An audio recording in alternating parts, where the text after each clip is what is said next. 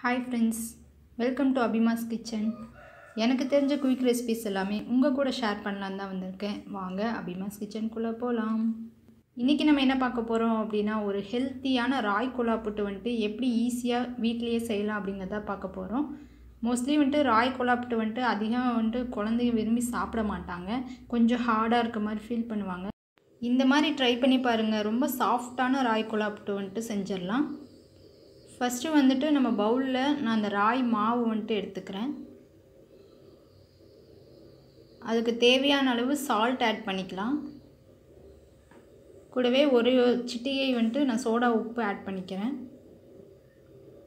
இப்போ இதுக்கு தேவையான அளவு வாட்டர் ஆட் பண்ணி நல்லா வந்துட்டு இதை நல்லா மிக்ஸ் பண்ணி விட்டுறலாம்.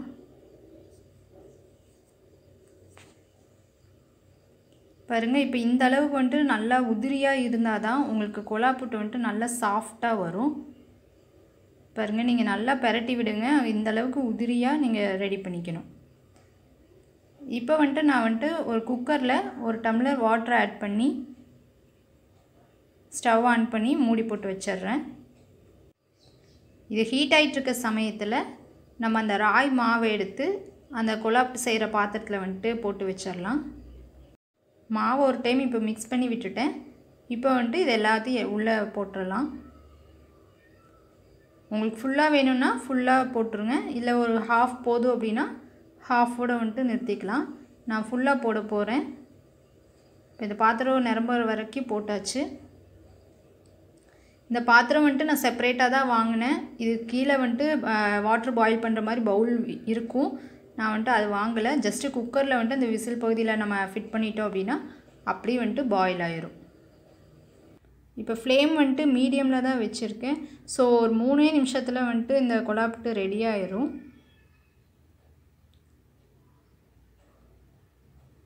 இந்த கீழ் பகுதியிலேருந்து தான் வந்துட்டு கொலாப்ட்டு வேக ஆரம்பிக்கும். பாருங்கள் அந்த டுவெண்ட்டி பர்சன்டேஜ் வந்துட்டு ரெடி ஆயிடுச்சு இந்த மேலே வந்துட்டு ஒரு மிஸ்ட் மாதிரி இருக்குது பார்த்தீங்களா அந்த பகுதி வந்துட்டு இன்னும் வேகலைன்னு அர்த்தம்.